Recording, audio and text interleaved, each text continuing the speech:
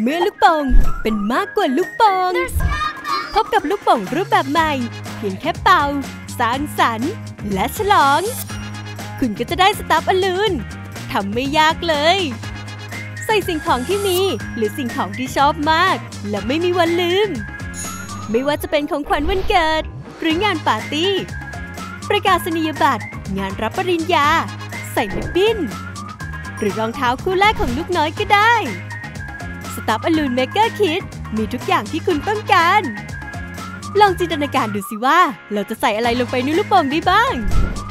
สามารถเอา Stuff A Loons มาเล่น หรือเอามาตกแต่งได้ Stuff A Loons สำหรับงานปาร์ตี้